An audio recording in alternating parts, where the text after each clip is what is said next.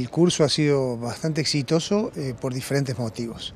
Una, que nunca habíamos traído a, nuestra institución un, experto en, desarrollo de modelos y, eh, este, que, que visualice el sistema de producción lechera como un todo y que eh, aporte puntos de vista, métodos y herramientas de, que soporten la toma de decisiones. Y la participación de los eh, fue muy importante, 72 participantes aproximadamente, hubo que lamentablemente eh, decirle que no a una cantidad importante porque excedía el cupo inicial. ¿A qué cátedras involucra este curso de capacitación y cuál es la historia brevemente de, este, de estos cursos de estas características? Bueno, inicialmente fue eh, eh, la cátedra de nutrición que organizaba y traía profesores como el caso de William Weiss.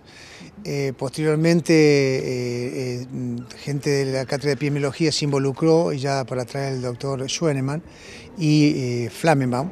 Y ahora ya actualmente, desde mi incorporación, también hemos empezado a traer a Víctor Cabrera y ya pensamos en el futuro seguir organizando iniciativas entre las dos asignaturas y por supuesto que queremos aclarar que estas iniciativas son generalmente gratuitas para, para todos los docentes que desean participar, eh, eh, digamos, del entorno nuestro de la universidad.